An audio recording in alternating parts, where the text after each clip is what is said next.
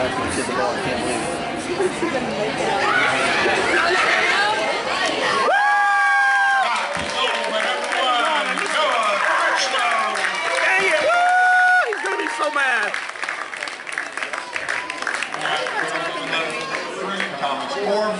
God dang it! I missed it. Mm.